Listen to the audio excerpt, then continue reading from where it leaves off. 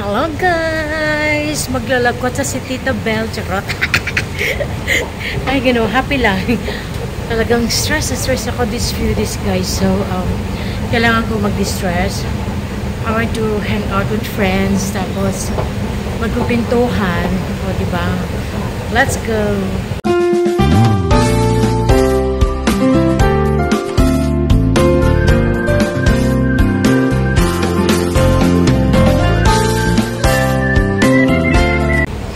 What to do kasi ano, ito yung nature ng trabaho ko. Talagang hindi maiwasan na hindi ka ma-stress. Marami akong hinahandle kasi guys, kaya talagang nakaka-stress. So hanggat maari, kung kaya kong tawanan, tawanan. Kung kaya kong hindi wag isipin yung trabaho, pwede rin, di ba? But anyway, today is Friday. Time for myself na eh, ano, ipamper natin sarili ni Sarot. Hindi guys, kano pala ako. Um, I'm meeting my friend and magdi-dinner kami sa labas. So, minsan nakaka-relief ng stress pag ano, pag kausap mo yung mga friends mo, no? So, sharing ng aming mga ano, mga workload, mga ideas, o diba? Day Ivan, kilala mo ba yan, Day Ivan? Oh, ayan, kami tab ko. Nandito kami sa office ng aking BFF po, ayan.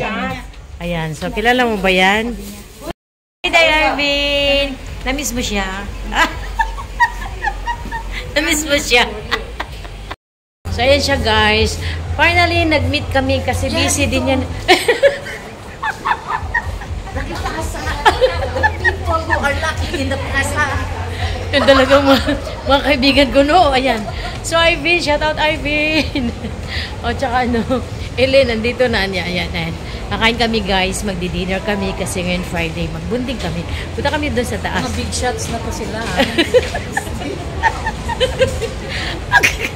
Mga big shots na to sila. Anong shot? Ah, klaruhan ng shot. Oh. Father, Fly me to the moon. Nakatupad, wag kaingon.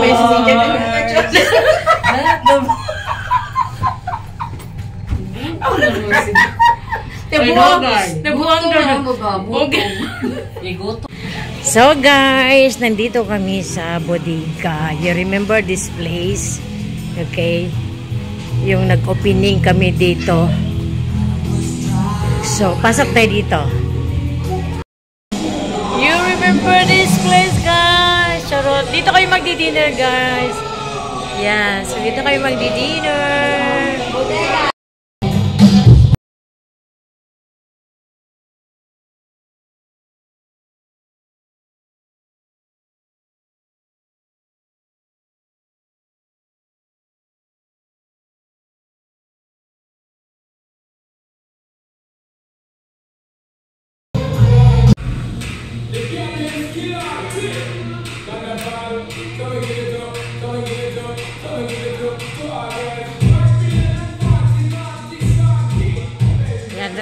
Dira, dira.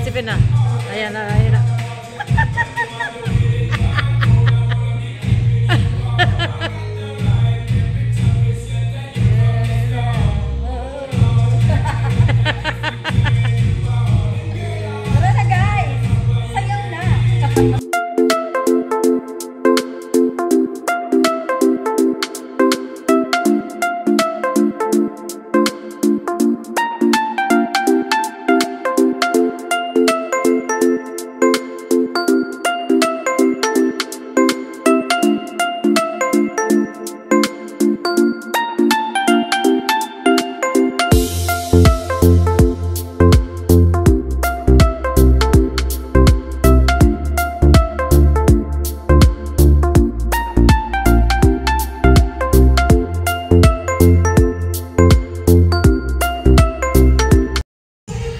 ginabi na kami guys. Anong oras na guys? Para na akong wakwak.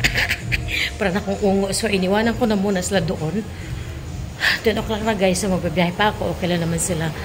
So, kailangan ko na umuwi kasi malayo pang biyahiin ko. Okay, maglalakad pa sa titabil ng medyo malayo-layo. Okay lang. So, ayan guys, dito sa Orchard, no, gabing-gabi na. Pero ang dami pa rin tao, buhay na buhay. Parang hindi natutulog ang mga tao dito. So, kahit ganitong oras, last 10 ng gabi, meron pa rin biyahe. So ako naman guys ay mag-train pa uwi. Kasi sayang naman kasi mag-taxi or mag-grab no is not worth. Convenient naman dito. Marami naman dito ano. Maraming bus, merong train. So dito na tayo sa train para tayo makasave, di ba? Doon sa labas kanina maririnig meron pang bus car, no? So, ah, marami pang tumutugtog. Alam yung bus car, yung sa gilid. Mga gilid-gilid, tabi-tabi na tumutugtog. May mga permit kasi yan sila guys eh. So, ayan. Tinan nyo, marami pang taong naglalakad sa underground. Dito sa train. So, papunta ito ng station. Lakad pa more. Para akala mo araw pa rin, no? Actually, 10 o'clock na ng gabi, guys. Aman, dami pa rin mga tao, guys, no? So, ayan, nakita tayo, guys. At kaya, tapos, ano, diliritsa na tayo para sa ating, ano, paglalakad ng train papunta sa ating station. Grabe, guys. Busog-lusog talaga ako. Ang dami kasing, ano, eh. Daming in-order na pagkain. Ganyan yung aking BFF pag makasama ko yan. Diyos ko, yung pagkain na lang ang susuko sa inyo. Hindi kasi I'm happy dahil ano, nagkita kami ni ni Jill, tapos yung mga long time friend ko na nasa agency din. So, ah nagkita kits.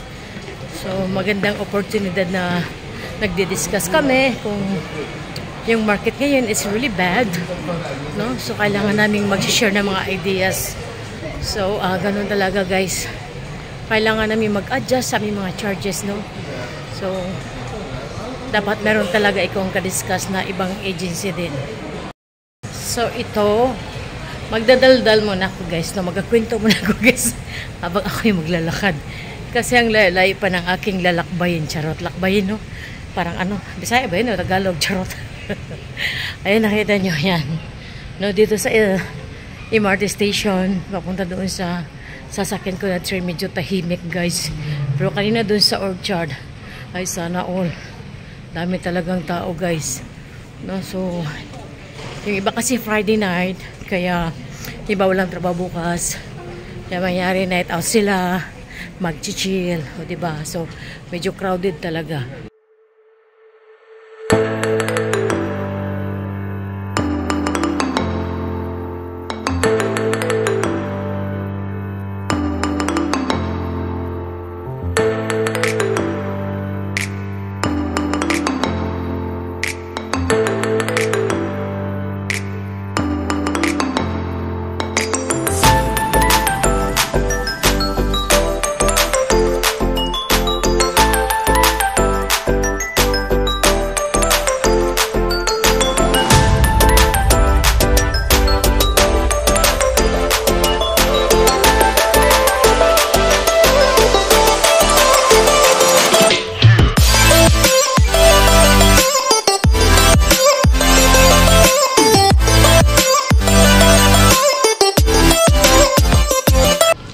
Tap tayo. Ayan, 16 dollar na lang ang natira. Kailangan nating mag-top up pa. Anyway, budget ko naman talaga kung magkano yung expenses ko. Yung transportation ko, budgeted ko na yan talaga. Ayan guys, tingnan nyo oh. Tahimik oh. So, meron pa siyang biyahe kasi Friday. So, I think ang last train nito is mga 11 o'clock. Okay, so yung mga bus naman 11 o'clock. Kaya dapat habulin natin ang last na train. Okay? So, convenient pa rin guys. Siguro tahimik na ito mamaya sa loob. Ayan yung train. Dumating na ang train.